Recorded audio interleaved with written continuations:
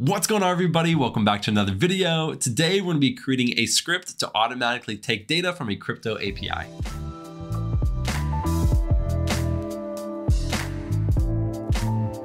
Now this project stems from an earlier video that I did where I walked through what an API was and how you can use it. And in that video, I showed you how to use CoinMarketCap's API so you can start pulling in their crypto data. And in this video, we're gonna take it one step further and automate that process. And then we're gonna do a little bit of transformation with the data.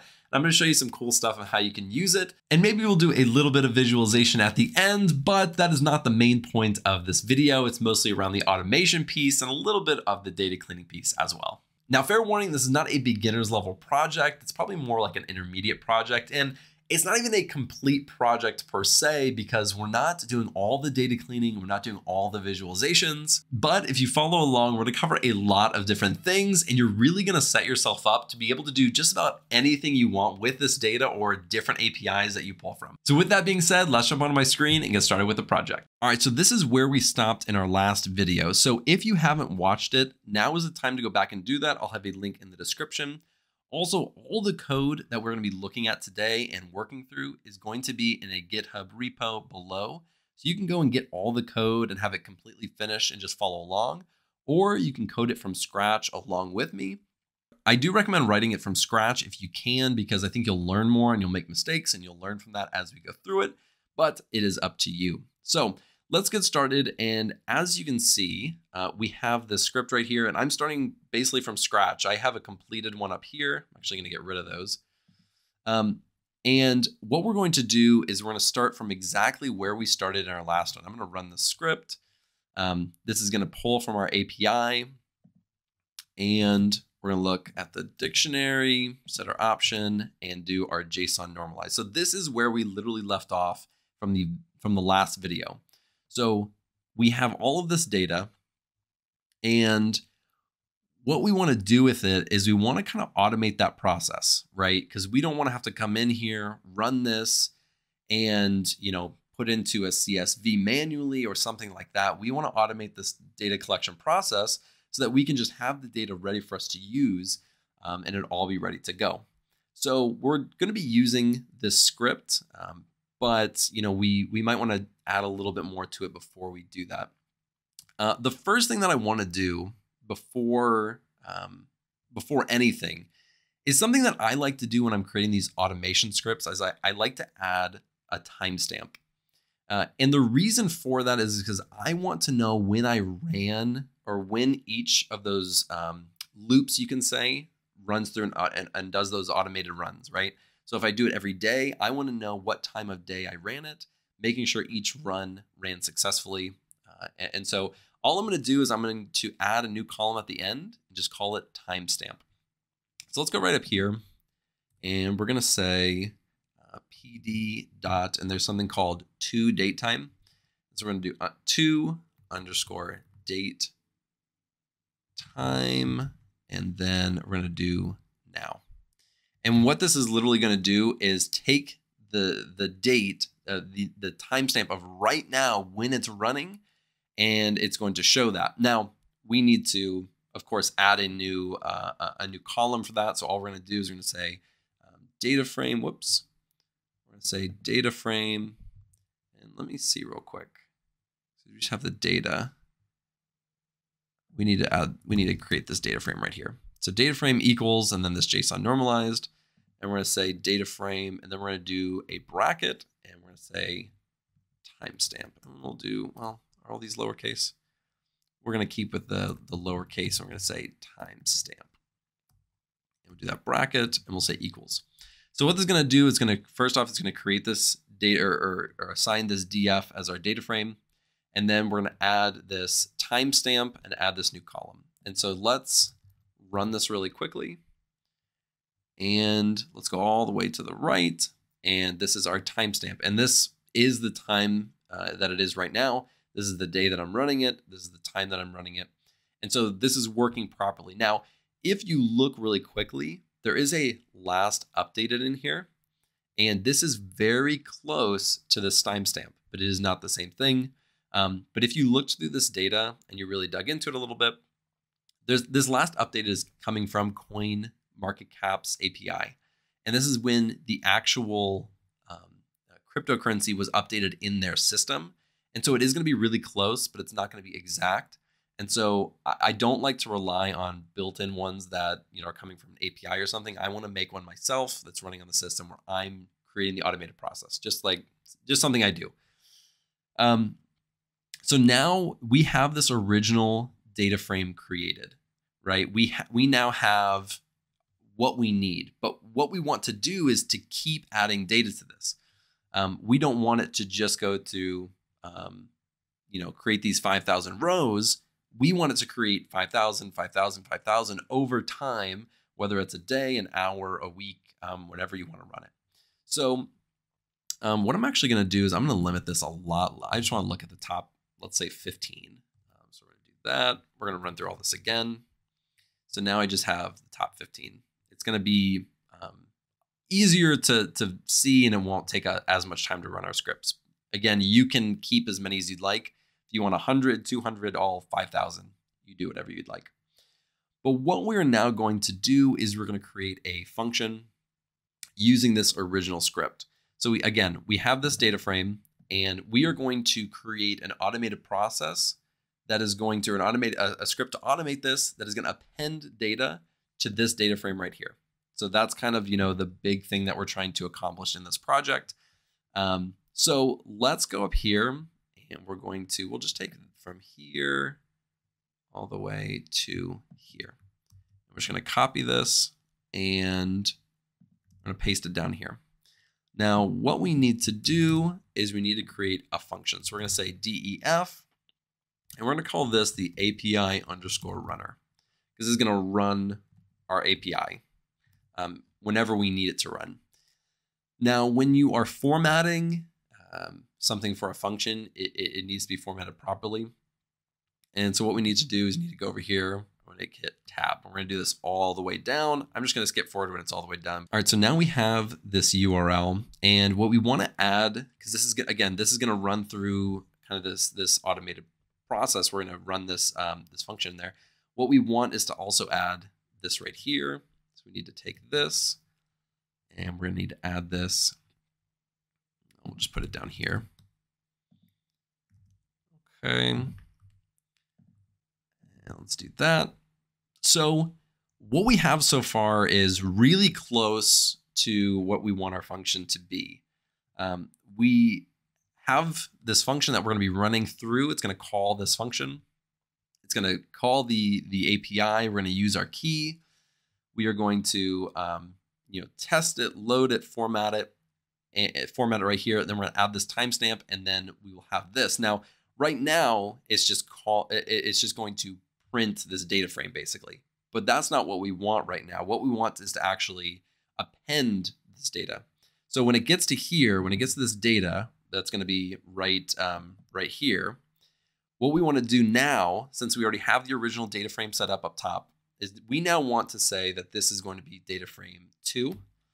And we're going to say it's going to append it to data frame 2. And so the original data frame, we're going to say data frame 2 dot append, and we're going to say df2. All this does is this says this new data that's going to be coming in every time. Let's say it's a loop and it's just looping through, pulling the data, pulling the data, pulling the data. We're going to create this data frame. We're going to add add this timestamp like like we want, and then we are going to append that to this original data frame. So as of right now, this looks good. I will we'll run it in a second. Well, I'll create it. So I just created it.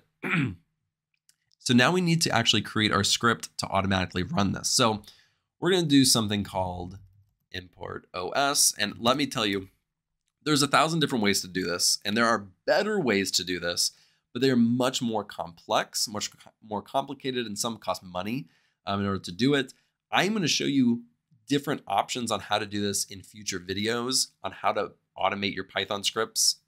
But this one to me is one I've used a lot, um, many, many times for different projects, and it works. So I'm not going to show you the most complicated thing in the world. I'm going to show you something that I've just used a lot.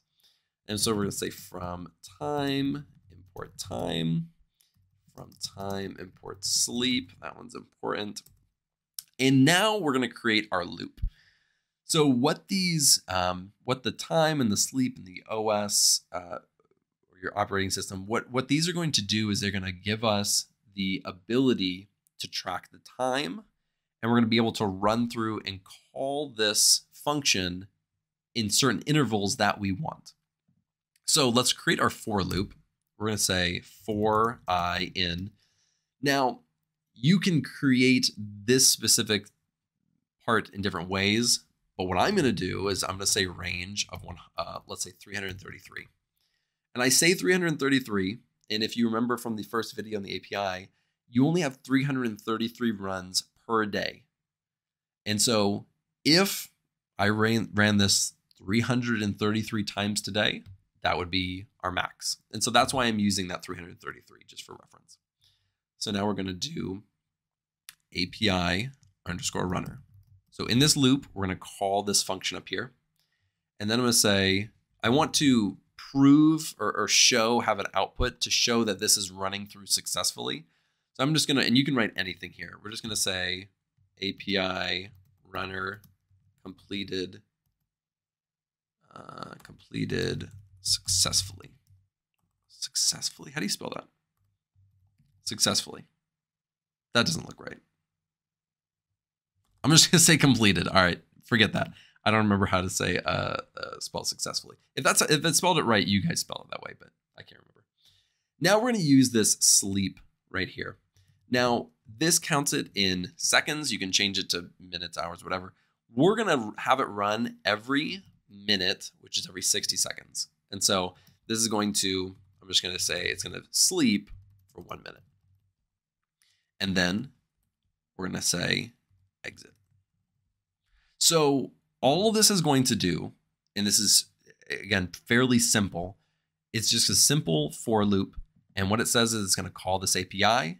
It's going to tell us that it ran successfully, and then it's going to wait for 60 seconds and it's going to run again. That's it. So let's run this and see what happens. See if what we did works. So it ran it the first time.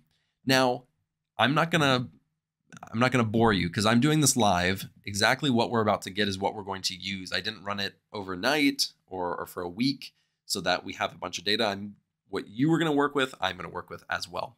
So I'm going to wait a few minutes. I'm going to let this run. I want you to do the same thing. I'm going to let this run for maybe like five minutes or so, and we'll work with what we have and we'll keep going with the project because again, we're not the point of this project is not to create the final product or creating all the visualizations. That um, will most likely be in another video where we're taking all this data and doing all these things with it.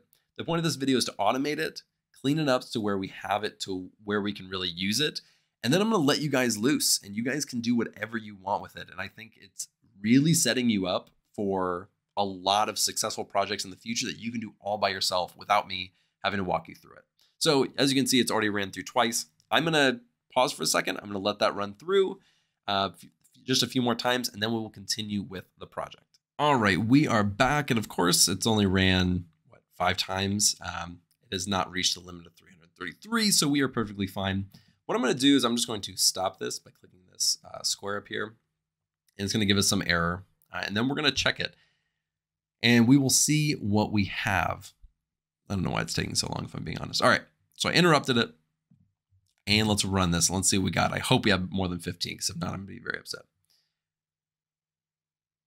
Okay. So, okay. Well, uh, I made a mistake. Um, I was supposed to put data frame right here. And I had data frame two. So um, take change your script. Do not do what I just did. We're supposed to be append. It's supposed to be data frame append and we're supposed to be appending the original data, uh, this data frame to the original data frame. So um, I messed up on that one. Let's rerun that. Let's rerun that.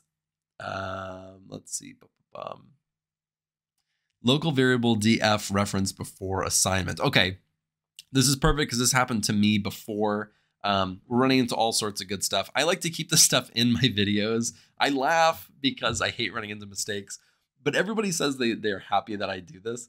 Um, so I'm going to keep doing it. I'm not going to cut this out. I promise. Um, but what we actually need to do is we need to go back up to this function because what happened was is we called this data frame uh, and now it's it's because it's in a function it's in what we they would call a local variable what we need to do is we now need to state that this is a global um, it's just called a global that's all it is um, and so what we're going to do is we're going to do tab we're going to say global and we're say df and what this should do is this should declare it as a global variable and it should let this run properly. Let's hope it does. All right, it's running. um, again, I ran into mistakes. Uh, it, let me tell you something while, while we're here for just a second. This project, I ran into probably a hundred mistakes uh, or a hundred errors, issues that I had to research for hours um, and hours. I'm legitimately on Stack Overflow and just googling and figuring figuring these things out. There were a lot of new things that I had never run into before um, just on this project. And so um, everything that you're seeing is from after I went through all of those things, uh, or after I fixed all of those things and had to really work through them. It was it was very um, it was frustrating at times. I just I couldn't figure it out. And so what you're looking at is kind of the polished version of that. Now that I have everything laid out, because I I can't spend 10 hours on a project, nobody would watch it. So just know that if you are, are running into some of these mistakes or you run into mistakes later on when you're expanding this project, that's completely normal. So what we're going to do is we're going to let this run for a little bit. And then uh, after maybe three or four minutes, we'll come back and we'll keep going with the project. All right, so let's run this and check and see if we have uh, the data that we're looking for. Uh, and it looks like we do. Let's go actually back up here really quick.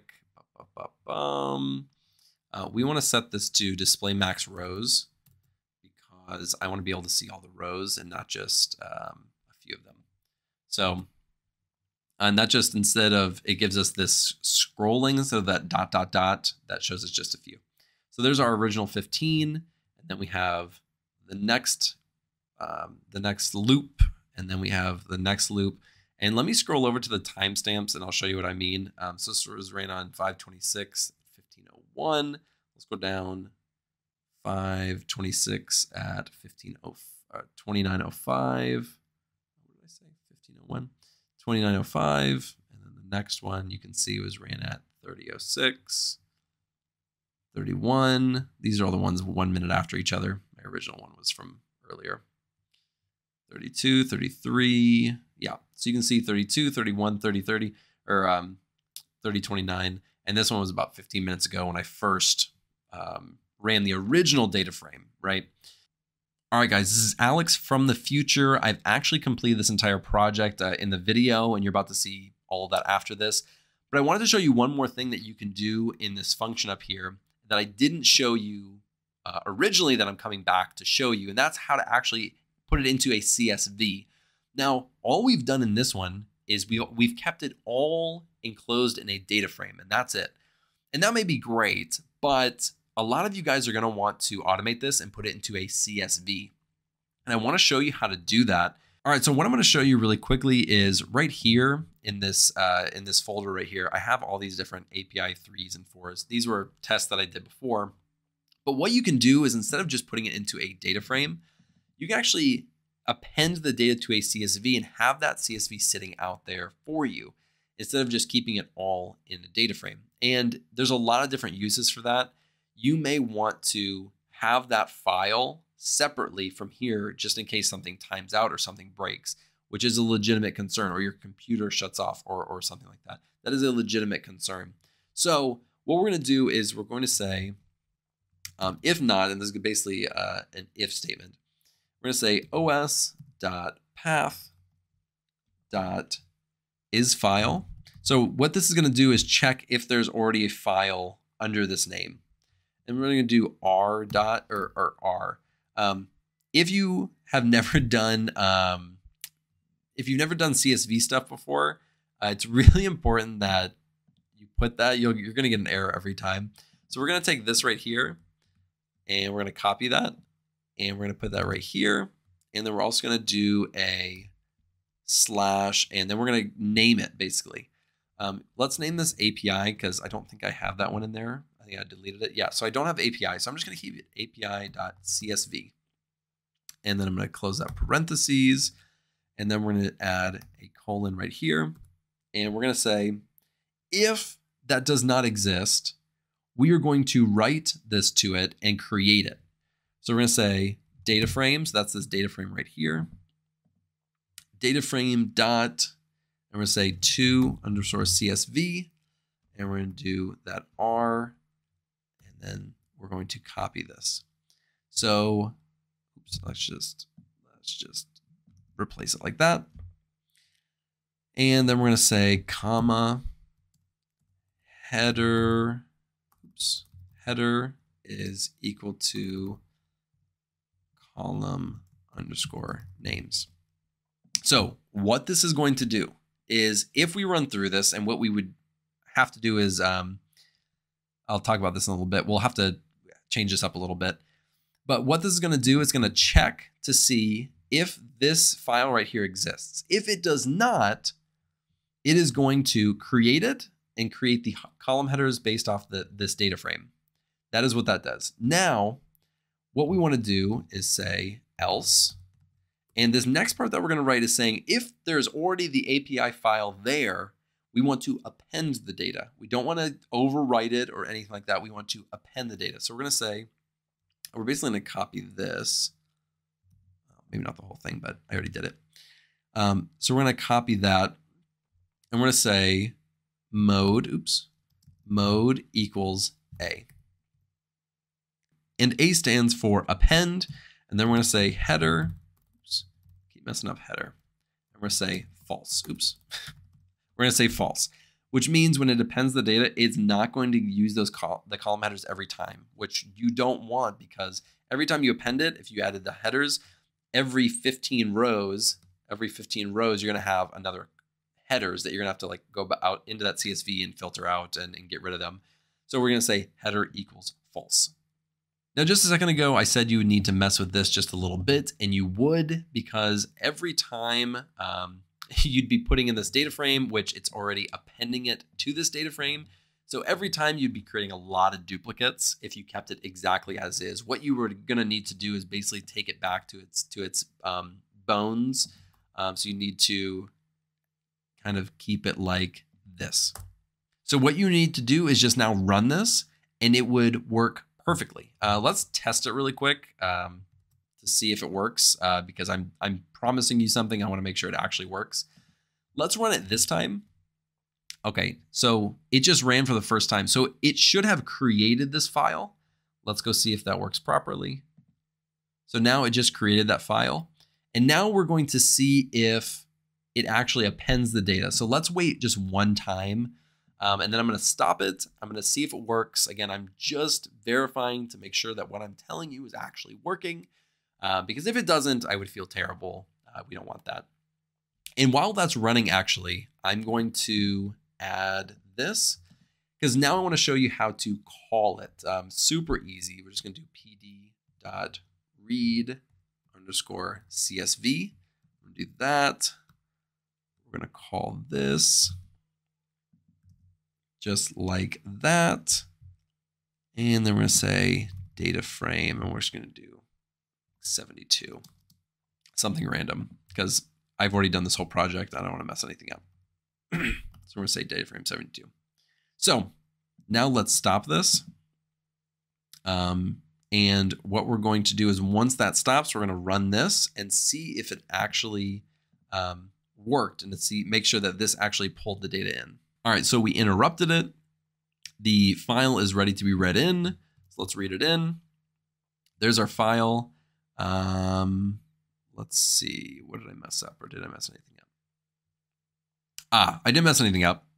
This is the index for this file, and we already had this in here. We'd probably be able to get rid of it. But if you see, we have 0, 1, 2, 3, 4, 5, 6, 7, 8, 9, 10, 14. Then we have 0, 1, 2, 3, 4, 5, 7, 8, 19. And if we look at the timestamp, it should be one minute apart. So it's 1, 1945. It said 1, 20, 45. So this worked exactly as planned. Um, again, you have two different options. You can just keep it how it was before and I'll leave both of those options, you know, in the in the script so that you can kind of choose which one you want. But um, that's how you do that. So then right here, you're appending it to a CSV file. And then if you just keep this and you get rid of all this, you're just appending it to a data frame. Now, please continue with the rest of the video that I already have done. Um, but again, I'm Future Alex. So uh, please continue with the rest of the video. Okay, so we have all this data. We have we have so many columns. We can do now, you know, if you want to completely just go and do your own thing, you absolutely can do that. I'm going to mess around with a few things, um, kind of show you something that I did that I thought was really interesting um, in order to visualize this data a little bit and transform it a little bit to make it more usable. Um, but we're not doing a full data cleaning. That's not what this project is. We're not doing a full data cleaning of this data. That would be a, a very large undertaking because honestly, this needs a lot of work. One thing that I do want to clean up really quick uh, is is this right here. This the, the math will be fine. It's just the way that it's shown on here is in sta- uh, the scientific notation, and I don't like it. So what I'm going to do really quickly is, is just um, get rid of that. So we're going to uh, we're going to say PD dot set, and we're going to do underscore option, and this is going to be uh, do uh, parentheses. I'm going to say display. This is just this how this is formatted. So we're going to display uh, dot float underscore format, and we're going to say comma, and we're now we're going to use this lambda. Say x colon, and we're going to say percent 0.5 f, and that right there, and we're going to say percent x. Now, if you don't know what lambdas is, lambdas are, um, I highly recommend looking those up. Um, again, this is not a beginner tutorial. Whoops. No such keys, display floor format. That makes sense. Uh, this is float. Yeah, guys, this is not a beginner's level, all right? Uh, you can't use the floor format. This is the float format. All right, so now let's take a look at this uh, this DF, uh, this data frame that we have. So we're just to hit DF, click enter. And now our numbers are a little bit more easily readable. I prefer it this way. You do not have to do this. I'm doing this just because this is what I prefer. So let's jump right into it. Um, something that when I saw this data, I was like, something that I really thought was interesting is this percent change of one hour, percent change 24 hours, seven days, 30 days, 60 days, 90 days. If you're not in crypto or you don't do investing or anything like that, what this is going to show us is how, I mean, it's pretty obvious, how much the price of this coin has changed over the last hour, 24 hours, seven days. So as you can see, it's it's barely fluctuated after, over the past 24 hours, a little bit over the past um, seven days, a lot over the last 30 days, 60 days, and 90 days. 20 minus 26%, minus 33%. We're in May. We just had a kind of a crash in crypto uh, a couple weeks ago. So I mean, this tracks, right? But I want to visualize this, see this, and, and kind of see, um, you know, how this is going to look and how I, if I can gain any insight from that information and just having it all displayed for me. But in its current state, um, you know, we really cannot do that. Um, now, another issue, not an issue, but another thing that we have to take into consideration is we have Bitcoin net right here. We have Bitcoin right here after different polls. Now, we just did it a minute after each other, but for your project, you may do it a, a, a run each day a run every hour or something like that, right? And if you did that, your data could be very different. And so you may just want to take this first one, but what I'm going to do for the sake of this project, I'm going to group them. So let's go down here and we're going to say uh, df dot group by. And so if you've ever done something like SQL, uh, this is how you group by in pandas, basically. We're gonna group by uh, the name. So so on Bitcoin, Ethereum, Tether. So we're gonna we're gonna do that on name. And uh, I'm not gonna I'm gonna say sort is equal to false. Oops. I'm not going to sort it. Uh, you could say true there, but we're not going to. And I guess you'll see why later. We're gonna do an open bracket. And now we need to choose what we're going to group by uh, or what we're to, what columns we're to have. So I'm to do another open bracket and I'm just to copy and paste these. So I'm to start right here at quote percent one hour. So I'm to do boom and then go over one and we're to take 24 hours, paste that, comma, then we have the seven day, 30 day, and we're going to do like that.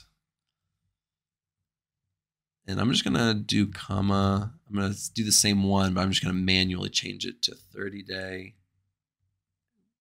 Get rid of that at the end. I don't know what that is. Uh, and then we're going to do 60 days and comma. And we're going to do our last one, which is 90 days. And let's see what that gives us. Ah, doesn't give us anything. Okay, I know what's wrong here. Um, we forgot to add basically the what we're we have we're grouping by something. We need to have like an average, uh, a mean, uh, a mode, or something like that, right? So all we have to do is go to the end right here, and let's just do mean. We're gonna do an average. Um, and, and so we're taking this number. So let, let's say this is for Bitcoin. So we're going to take this number in this one hour. For every time it's Bitcoin, it's going to group them all together. Um, and then it's going to average them. So in the past five minutes where it's been running, we're going to take the average or the mean of that. So let's run this again. And so now this is our output. Let's take a look. Oops, I meant down here. Let's run this. Now, Now, what we have is all of these um, cryptos. These are all 15 that we have, and this is the average um, for this one hour, 24, seven days, 30 days, 60 days, and 90 days. So now we have all of our cryptocurrencies over here. We have our percent changes up top, and then our averages um, here as well. And so now what we're going to do is, you know, if you try to visualize this as is, it doesn't really work because these percent changes are up here as columns and we don't really want them as columns because that it just doesn't work for visual for actually creating the visualizations. We really need these to be rows. And so my initial thought when I was doing this was I, of course, I need a pivot. Um, you know, if you've ever used a pivot like in Excel or, or Power BI or something like that, that was my first thought. And I tried everything and I could not could not get it to work. And I almost gave up until I, I ran across um, something called stacking or a stack. And, and so this was not something that I, I, I think I have used it before, but I I couldn't remember to be if I'm being completely frank, I couldn't remember how to do this. So I just did um, once I saw what it was, I did stack. And let's make that data frame four. You don't have to do this. Uh, you can keep this all the original data frame. I'm just I like for visual purposes, you can see like the progression that we're making. Um, but I like to, you know, create its new data frame and I can always go back and look at this data frame three um, as we go, but you don't, you don't have to do that. That's just what I'm doing. So now let's take a look at this. Now uh, up here, we had Bitcoin and we had all these columns and we had uh, these numbers as rows, but now we have all of these as rows as well. This how we have this is much, much more usable. Um, and if you've ever done something like um, pivot or the stacking before, you'll know that you you kind of have to do it if you really want to, to visualize this well. But um, you because we just stacked it, it kind of changed it. So if we look at, um, let's look at the type of, let's do type of data frame three. This is before, um, before we stacked it, this was in a data frame. But now let's go and look at data frame four. So this is a series. This is no longer a data frame. And so we have to remember that. That's uh, that's really important because we can no longer treat it as a data frame. It's now a series. So we want to get it back to a data frame. We don't want it to be like that because you can't really use it in this series. So what we're going to do, and let me just create a few of these so you can be up here better. So now what we're going to do is we're going to say data frame four dot, and something called to underscore frame. So we're going to make this into a, a frame. And now we're going to specify the name. And it doesn't mean um, the name like right here. we actually mean the name of these values right here. This is part of the stacking process in, in these columns or these two columns.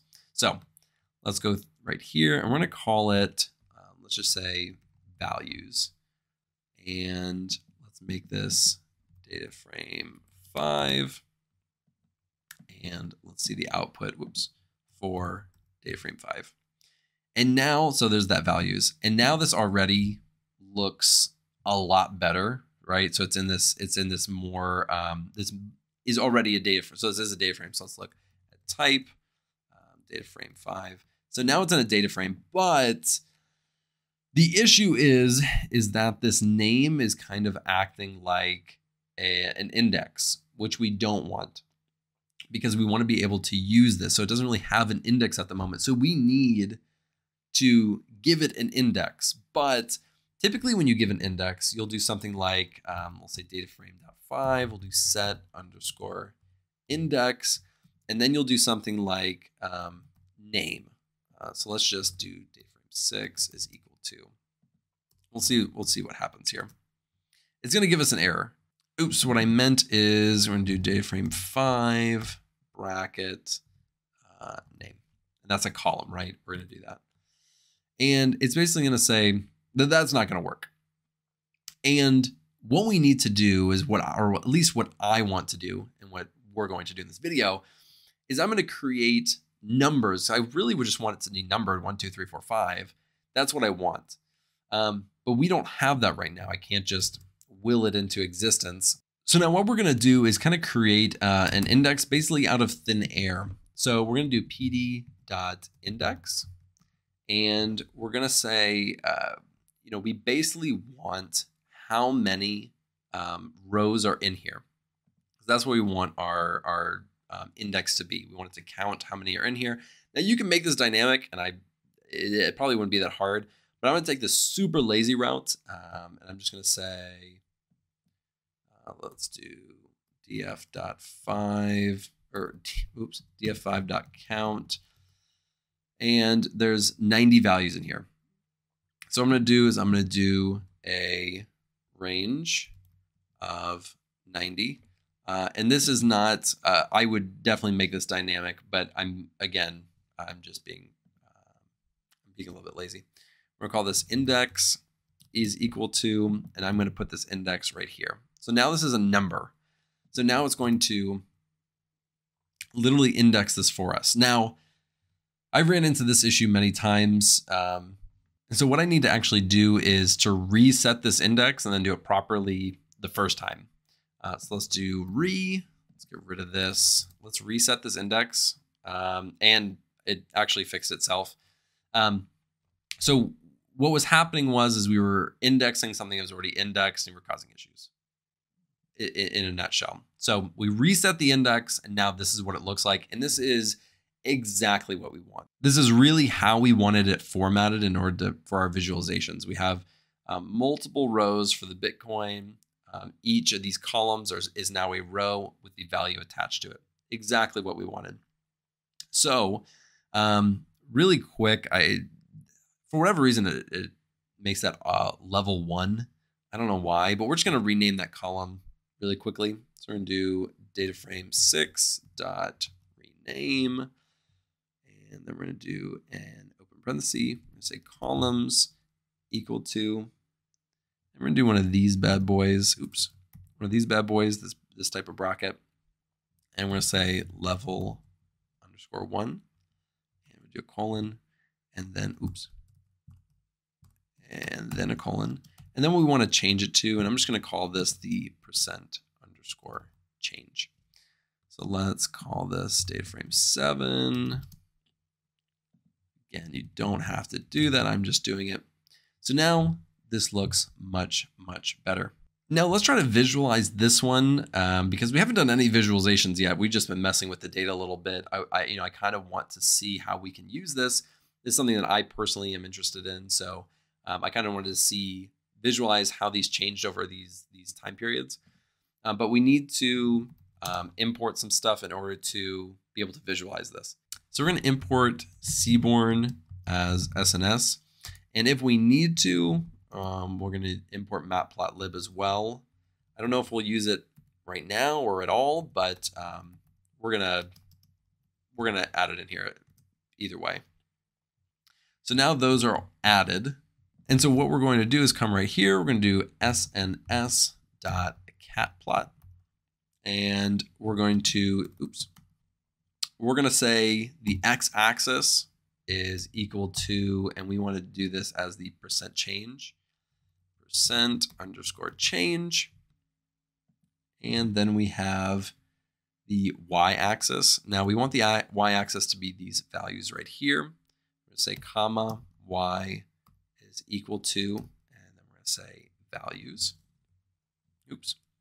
And then we're going to say comma, and we'll say we, we want to basically create a legend, um, I guess you could call it. We're going to say hue is equal to name. Um, I'll show you what it looks like without it, and then you know you can see that, that we need that. And we're going to say the data is equal to this data frame 7. Data frame 7. And then we are going to say the kind is equal to point. Now let's run this and see what we get. And super quickly with just, you know, limited um, inputs, here's what we have. Now, this looks really good. We can narrow this down if we wanted to to a few less because there's a lot here and there's a lot of colors. But again that's just because we have a lot of different stuff. But there's a few that are doing really well. I think this is tron. Um, and then we have a few that are not doing so well. But it's really hard to see if you look down here it's really hard to see this. Um, and that's just because of the the column names and so I actually want to change these column names or these values so that when we visualize it right down here, it, it doesn't look like that. I kind of want this to be, you know, at least one good visualization you can take out of here. Now, this is definitely not perfect or complete by any means, but you know, you can take take that away from here. Um, so let's, um, I did Alt Enter, which adds another row. I could have just pushed plus. I, was kind of the lazy way. Um, what I'm going to do is I'm going to change these, um, these values in here. So how I'm going to do that is I'm going to do data frame 7, and we only want to look at this one column. So we'll do that right there. And we want to say dot replace. And we're going to open uh, uh, parentheses and then a bracket. Now, what we need to do is I'm just to show you um, one of them is I'm going to say this one hour. Do that. Oops. And then what I need to do is a comma, another bracket, and this is what it's going to change to. I'm just going to say one hour. Oops. One hour. Um, and we'll do this one really quick, and then I'm going to, I don't want you to have to watch me type all this out, but I'm going to go through and basically do all of this uh, for those. But let's, let's see this really quick. And so now, as you can see that um, the, originally it said quote.usd.percent change one hour is now only one hour. Now, this didn't actually do anything. We need to apply it to this right here. So I'm going to say data frame 7 is equal to, and then we'll run data frame 7 again. So now that has actually changed that value. Now I'm going to go through and I'm going to update that for every single one. All right, so I basically just put the other ones um, in here that we wanted to change with commas underneath. So I have 24 hours, comma, with the seven days, 30 days, 60 days, 90 days, and then this bracket over here, which tells uh, it what to change it to 24, seven days, 30 days, six days, 90 days. So let's run this. I haven't even tried it yet. Uh, and it looks like it obviously worked properly. So now let's go back down here and let's run this again. And look at that. It looks so much cleaner, so much nicer. Um, and as you, I mean, all of them with that one hour change has very little change.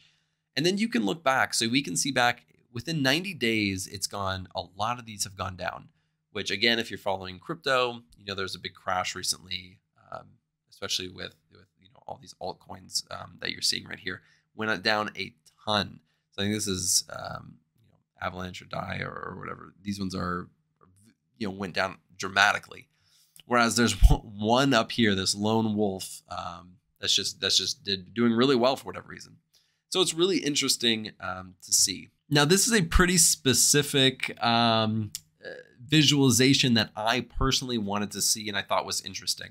You can do absolutely whatever you want to do with this data. I mean, there's so much here. You can do a lot. I mean, a lot with this data, especially depending on how long you track it, right? I only did this over the course of like five minutes, but if you set this up um, and you can track it over a longer time.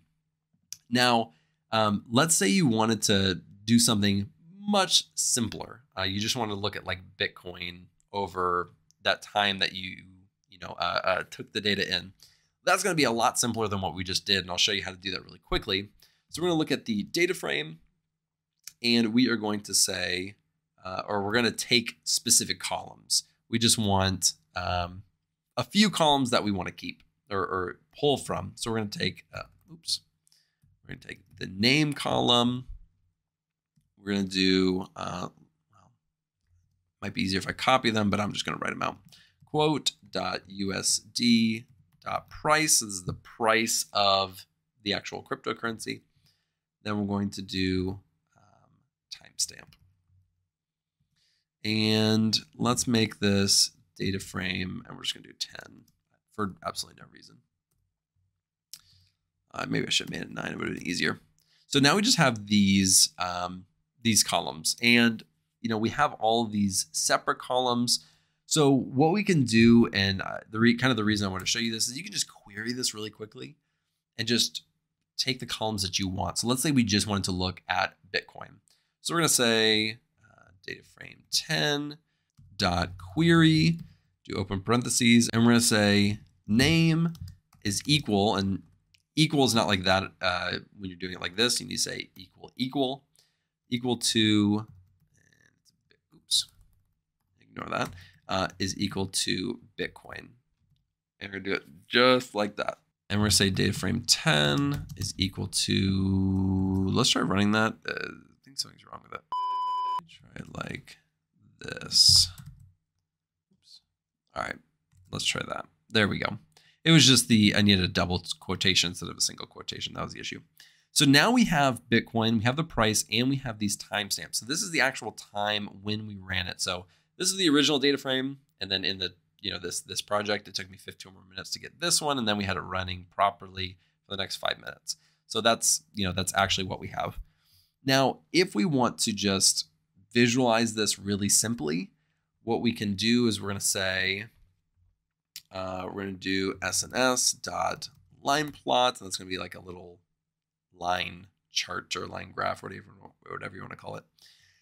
And then we're going to say x is equal to, and we'll say quote, uh, no, actually, we want the timestamp to be on the x-axis. Um, and then we'll do y is equal to quote dot USD dot price. And let's see if that works. Could not interpret timestamp for the parameter.